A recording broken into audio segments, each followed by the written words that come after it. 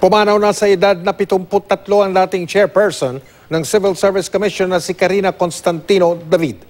Ayon sa anak niyang si Kapuso Anchor natin at dokumentaristang Cara David, Martes ng gabi ng bawian ng buhay ang kanyang ina sa Philippine Heart Center.